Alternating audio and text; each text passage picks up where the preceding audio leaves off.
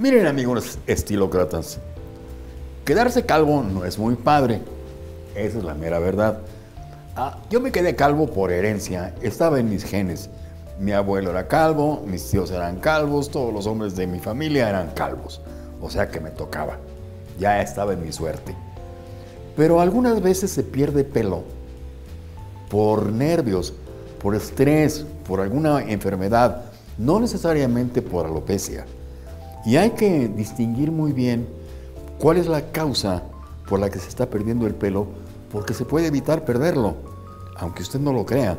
No todos son calvos como yo por genética, algunos son calvos solamente por nerviosos, y eso es algo que se puede evitar. Yo soy Ricardo Domínguez, les doy la bienvenida a su canal de Estilocracia y les pido que pongan atención, mucha atención a este punto, porque no necesariamente tienen que ser ustedes calvos, no tienen necesariamente que perder todo su pelo.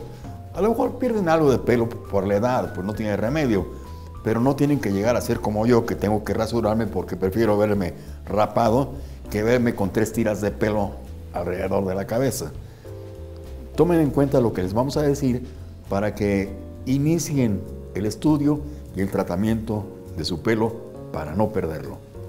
Un padecimiento común que les llega a los hombres con la madurez es la caída de cabello. Aunque no es grave, es algo que afecta directamente a la imagen masculina, en ocasiones generando inseguridad, problemas de autoestima e incomodidad con la propia imagen. Si este es tu caso, no te preocupes, es un problema que tiene muchas soluciones. Pero lo primero que debes saber es qué tipo de pérdida de cabello padeces y qué es lo que la provoca. Dependiendo de las causas, sabrás qué método de tratamiento es mejor para ti. El cabello se nos cae todo el tiempo y en todas las etapas de nuestra vida. Sin embargo, debido a la producción de ciertas hormonas en la etapa adulta, la caída puede aumentar de manera drástica. Así que antes que nada, debes examinar la percepción de tu cabello. Responde a las siguientes preguntas. ¿Tienes comezón en el cuero cabelludo?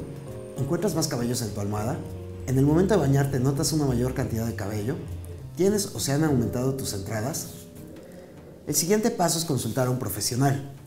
Ten en mente que, antes de actuar o comprar tratamientos o shampoos anticaída, un experto debe revisarte para decirte el por qué se te está cayendo el cabello.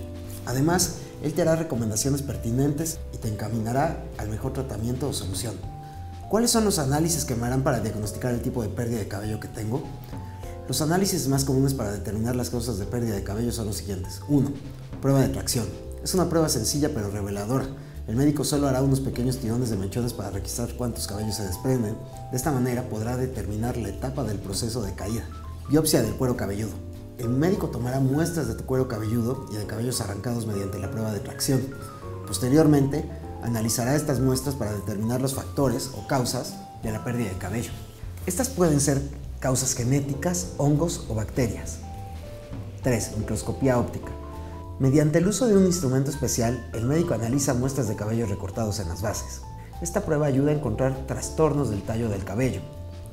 No te alarmes, es posible que mediante los tratamientos sugeridos por el médico tu cabello vuelva a crecer. Así que sé paciente y sigue las indicaciones necesarias. De no ser posible reanudar tu crecimiento, existen otros tratamientos que buscan impedir el debilitamiento de tu cabello, deteniendo así la caída. Los medicamentos más utilizados en el tratamiento de la pérdida de cabello son los siguientes. Minoxidil, es un medicamento de venta libre, no requiere receta, viene en presentación líquida o espumosa. O el finasteride. La venta de este medicamento es con receta médica y viene en presentación de píldoras o cápsulas. Este medicamento detiene o disminuye la caída de cabello, pero puede no funcionar con personas mayores de 60 años. De ahí que sea importante un diagnóstico temprano. Ahora que ya lo saben, tomen en cuenta estas recomendaciones y procuren hacerlo para que conserven su cabellera intacta, pues hasta el día que les toque ir perdiéndola poco a poco, pero ya por edad, no por estrés. Si esto les parece bien y les parece adecuado, amigos, por favor, compártanlo en sus redes, compártanlo con sus amigos y por lo pronto les agradezco muchísimo su atención y les pido que nos veamos en la próxima. Muchas gracias.